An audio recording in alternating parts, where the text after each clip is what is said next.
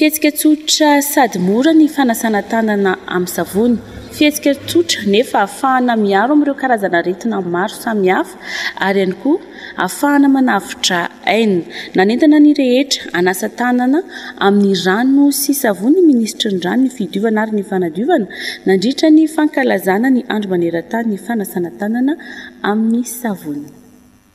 Eto Madagasikara, olona iray amin'ny efatra no manana fitaovana fanasana tanana miaraka amin'ny savony, ary ny antsasa-manilan'ny toeram-pianarana no tsy mbola manana rano sy savony hahafahana manasa tanana. Eny amin'ireo biraom-panjakana sy toerana lehibe ireny dia misy ihany ireo toerana azo anasana tanana, saingy tsy maharaka ny filan'ny mpampiasa izany.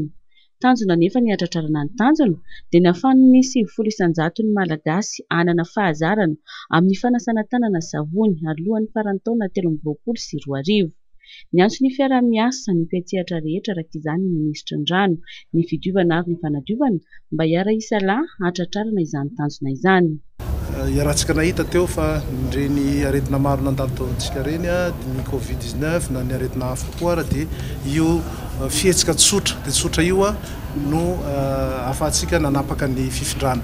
Noho izany dia manentana zahay ny olona rehetra na ny collectivité territoriale na ny commune na ny ONG any amin'ny faritra rehetra na ny mpitondra fiangonana, ny sehatra tsy miankina, mba hifanome tanana mba hitaizana sy hanaparitahana an'izany fanentanana izany mba ho ny ankamaroantsika vahoaka malagasy mba mampihatra azy satria mbola ano any amin'ny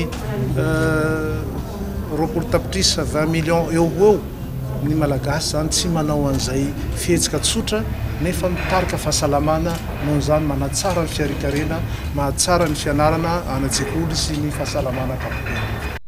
Eo am-pelatanantsika ny hoavy, ndao hiaraka handray andraikitra. Io no lohahevitra nanamarihana ny fanombohan'ny hetsika fanasana tanana amin'ny savony, iarahan'ny minisiteran'ny Rano, ny Fidiovana ary ny Fanadiovana, miaraka amin'ny minisiteran'ny Fahasalamam-bahoaka sy ny Fanabeazam-pirenena ary ny UNICEF. Nanentana ny tsirairay hanana fahazarana amin'ny fanasana tanana amin'ny rano sy savony entina hiarovana amin'ny karazan'aretina maro ny minisitry ny Rano, ny Fidiovana ary ny Fahadiovana. Ny UNICEF dia miara-misalahy amin'ny fanjakana amin'ny fahatratrarana izay tanjona izay.